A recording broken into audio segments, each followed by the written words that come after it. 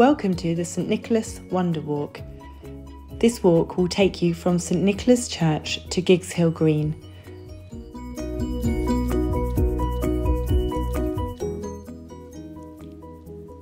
The walk is intended for all ages, from young to old. The Bible passages are read with children in mind. It is intended that you listen and walk, pausing where you need to along the way. The Wonder Walk starts in our 900 year old church.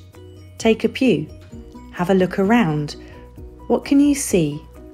What symbols are there? Look up to the rooftop, look down at the floor, wonder how many people have sat where you are now. Now take a walk around the church. Have a look at the windows. Can you find a window which shows the baby Jesus? Perhaps one of the most well known Bible stories is that of Jesus' birth. God sent his only Son to come down to us to help us live our lives in the right way. Take a moment, look at the window with Mary and Jesus, and wonder how did Mary feel?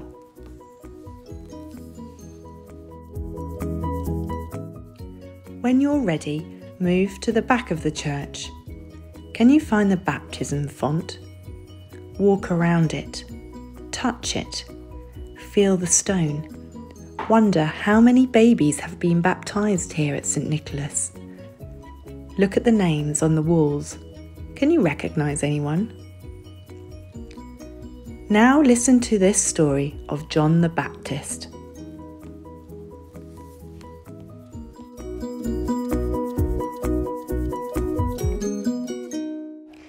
About the same time Jesus was born, another baby was born. His name was John, and God had a special job for him. John was going to get everyone ready for Jesus. John was a bit unusual. He lived in the desert. He wore itchy, scratchy outfits made of camel hair. He had a big, big, bushy beard and long, long, scraggly hair. And here is the oddest thing of all he ate locusts, which he dipped in honey. But God sent John to tell his people something important. Stop running away from God and run to him instead, John said. You need to be rescued. I have good news. The rescuer is coming. Make your hearts ready for him. Yes, get ready because your king is coming back for you. Great crowds listened to John. They were sorry they had sinned and they wanted to stop running away from God. They wanted to be rescued. So John baptized them, which means he plunged them in and out of the water. It showed that they wanted to follow God and begin a new life. One day, John was baptizing people in the Jordan River as usual when he looked up and saw a man walking down to the water's edge. God spoke quietly to John. This is the one. John's heart leapt. This was the moment he'd been waiting for all his life. Look, John said as Jesus came down into the water, but his voice came out as a whisper. He couldn't make it any louder. It was all he could do to even speak. The Lamb of God, God's best Lamb, who takes away the sins of the whole world. Will you baptize me too? Jesus asked. Who am I, John asked, to baptize you? It's what God wants me to do, Jesus said. So John baptized Jesus. Suddenly, it was as if someone had drawn back curtains in a dark room, as if heaven itself had opened, because a beautiful light broke through the clouds and shone down onto Jesus, bathing him in gold. Beads of water glittered and sparkled like tiny diamonds in his hair. A white dove flew down and gently rested on Jesus, and a voice came down from heaven. It was clear and strong and loud, so everyone could hear. This is my own son, and I love him. I am very pleased with him, God said. Listen to him. Heaven had broken through. The great rescue had begun.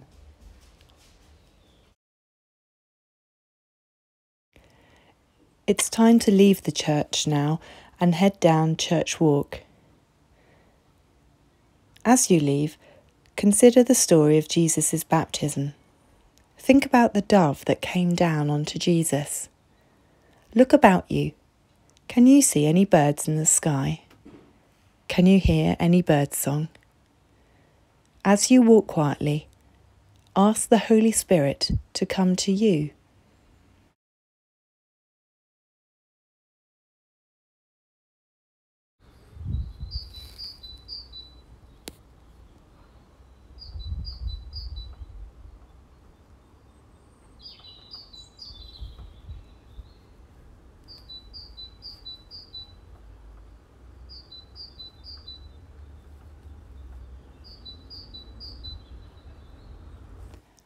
When you reach the top of Ashley Road, restart this commentary.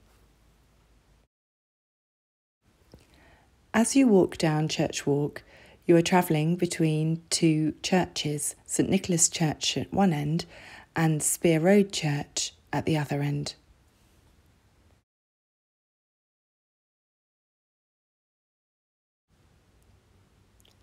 Churches are the places where we as Christians gather to follow God.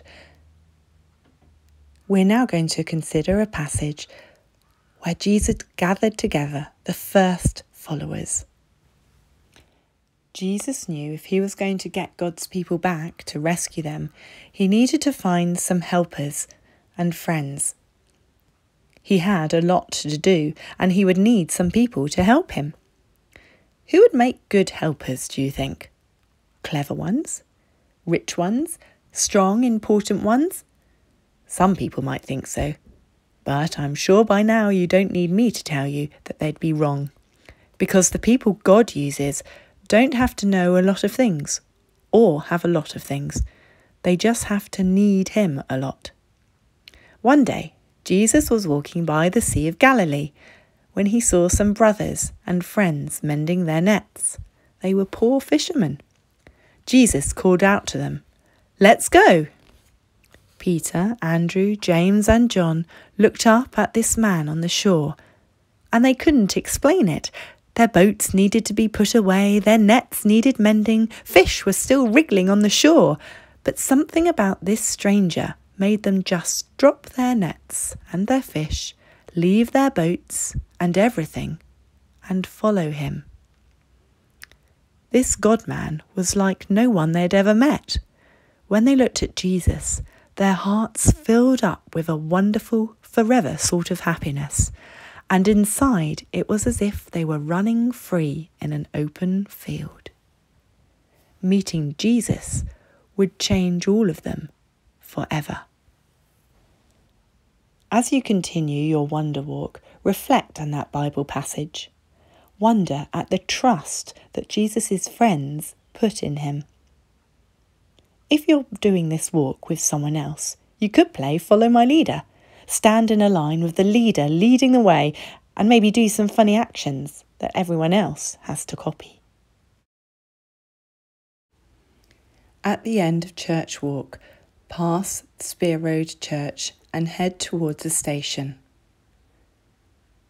Turn right under the tunnel and then head left into the dell.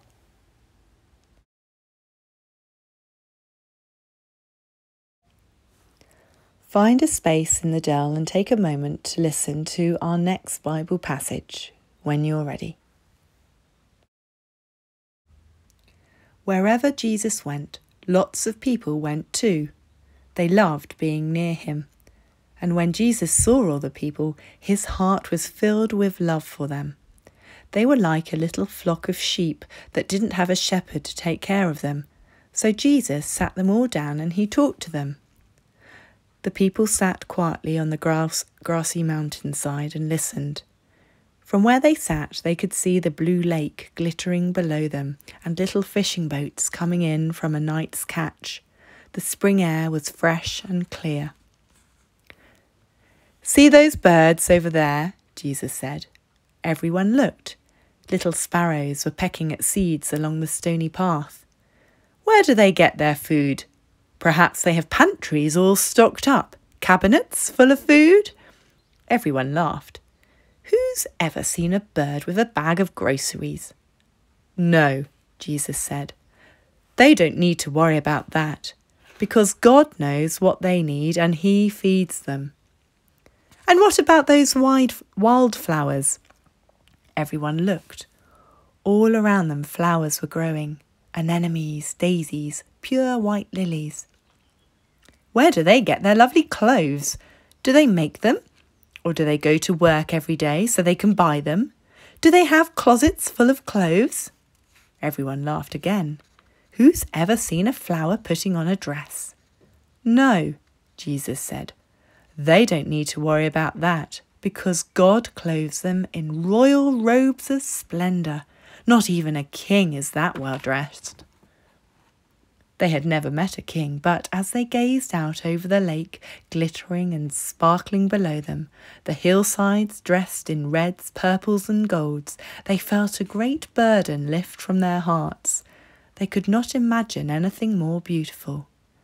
Little flock, Jesus said, you are more important than birds, more important than flowers.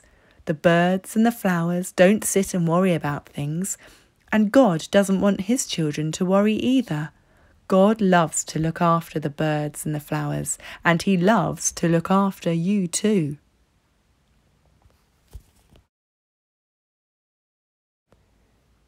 Take a moment now to walk through the dell. Look at God's creation. Can you see birds? Squirrels? Can you see the trees?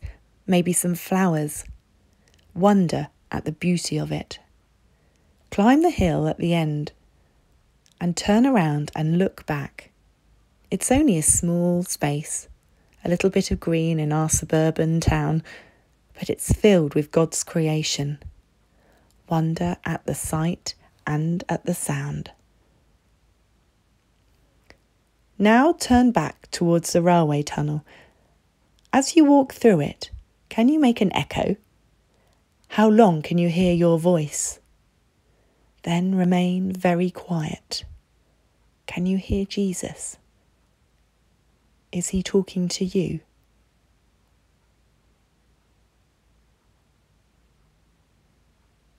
Continue your walk down Ash Path towards the school. As you head down Ash Path, you'll be passing a school and heading towards the nursery. Perhaps you'll be able to hear children playing.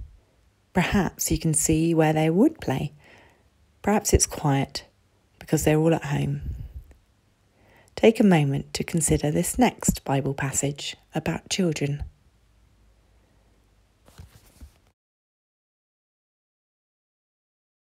One day, some little children came to visit Jesus. Jesus' helpers tried to send them away.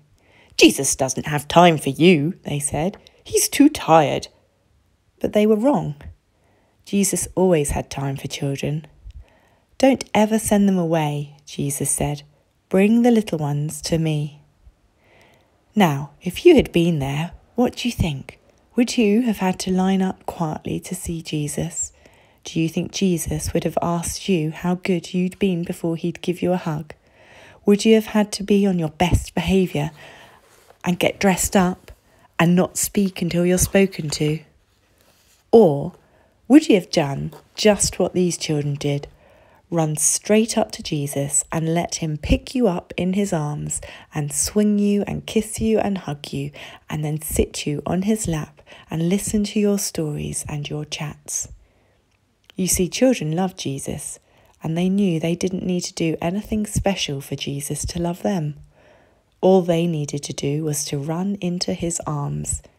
And so that's just what they did. Well, after all the laughing and games, Jesus turned to his helpers and said, No matter how big you grow, never grow up so much that you lose your child's heart, full of trust in God.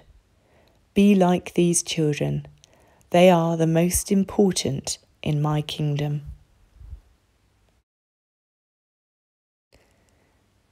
As you pass the schools and think about this passage, wonder at the love that Jesus had for the children.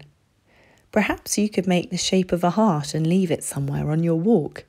You could use leaves or sticks or draw it in the gravel or dust, a reminder of Jesus' love. Turn right off Ash Path towards the Old People's Home and the Community Centre. Behind these is the doctor's surgery. These are places where there are many old and sick. There are many stories in the Bible of the miracles that Jesus performed to heal the sick. Pause now to think of someone who you may know who may need Jesus' healing. Hold them in your hearts as you continue to walk towards Giggs Hill Green.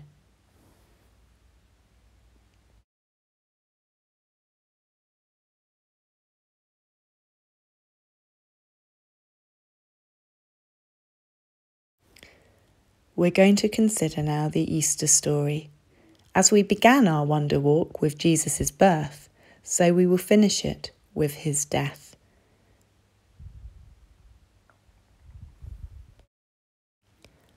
Let's first consider what we now call as Palm Sunday.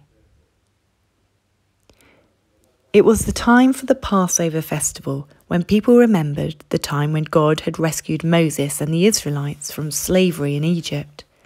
Jesus spent a few days with his friends. Then he set off for the city of Jerusalem. Jesus sent two friends ahead of him. Go to the village over there. You will find a young donkey that has never been ridden before. Bring it to me. If the owner asks what you are doing, tell him that your master needs it. They went to the village and saw the young donkey. They were just untying it when the owner said, What are you doing with my donkey? The master needs it, they said. They took the donkey to Jesus and put their cloaks on the donkey's back. Then Jesus rode into Jerusalem. Great crowds of people cheered for Jesus and waved palm branches and spread their cloaks on the road. Hosanna! they cried in a loud voice. God bless the King who comes in the name of the Lord.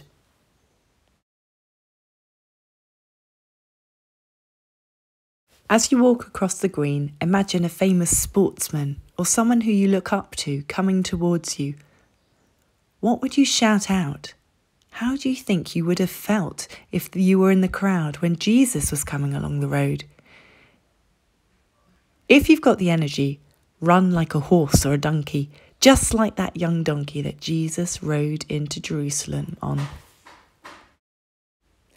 Find a bench now or a place to sit where you can see the cross in the corner of Giggs Hill Green.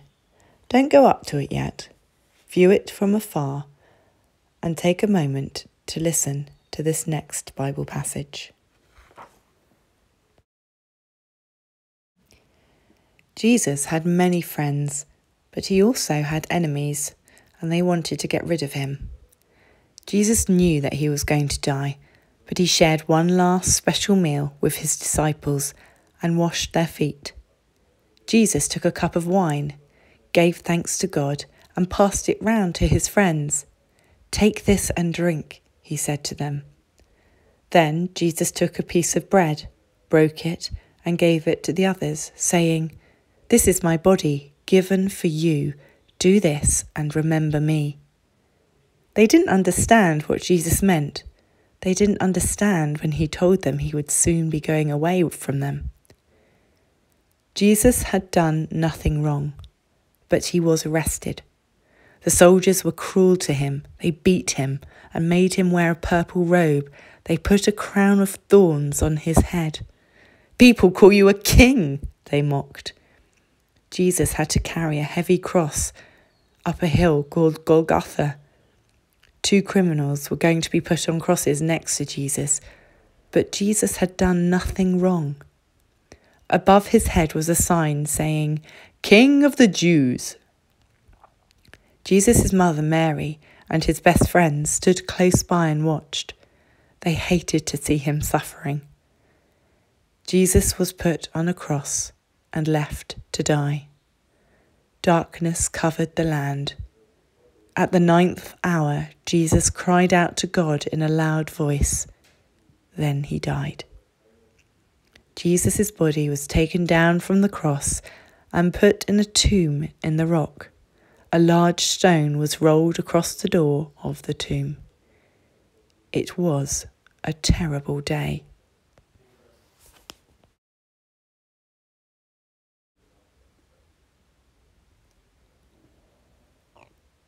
Take a moment now to slowly walk to the cross. Imagine you are Jesus. Imagining you are carrying the cross on your back, knowing that you are going to die. Wonder at his strength. Take a seat beneath the cross and listen to the next part of this amazing story.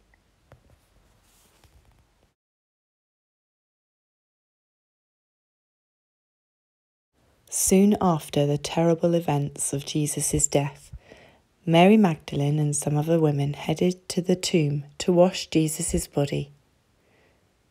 The early morning sun slanted through the ancient olive trees, drops of dew glittering on leaves and grasses, little tears everywhere.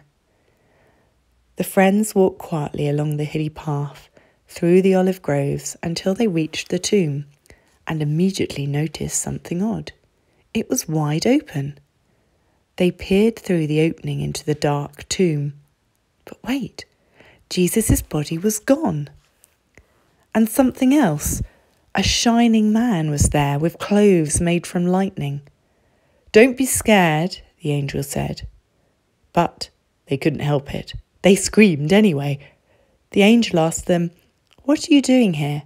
This is a tomb, and tombs are for dead people. The women couldn't speak. Jesus isn't dead any more, he said. He's alive again. And their hearts leapt.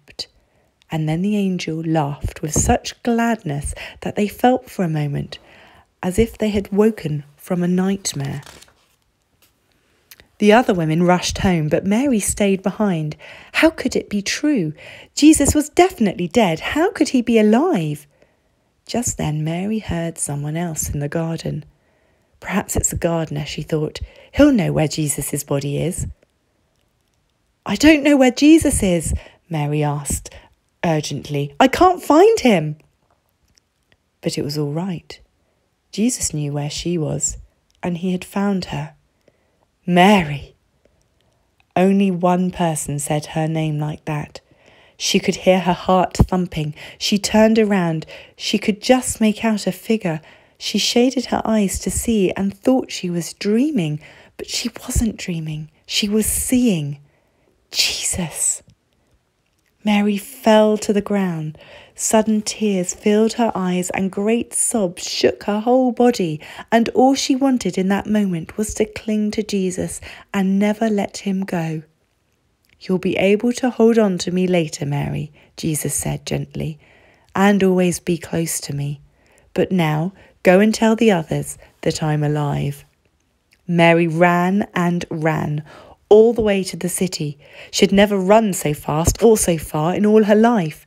She felt she could have run forever. She didn't even feel like her feet touched the ground.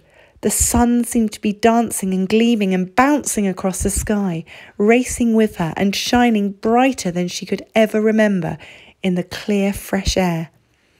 And it seemed to her that morning, as she ran, almost as if the whole world had been made anew almost as if the whole world was singing for joy. The trees, tiny sounds in the grass, the birds, her heart. Was God really making everything sad come untrue? Was he making even death come untrue? She couldn't wait to tell Jesus' friends. They won't believe it, she laughed. She was right, of course. As you wonder at the marvel of Jesus' resurrection, have a look around the cross. Take a selfie and send it to someone you know with the words, He is risen, Or even better, post it on our Facebook site. See if you can find two sticks and use them to make the symbol of the cross and place it at the bottom of the cross at Giggs Hill Green.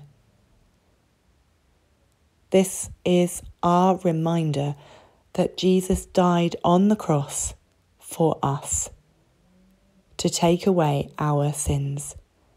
And that is the wonder of the Easter story.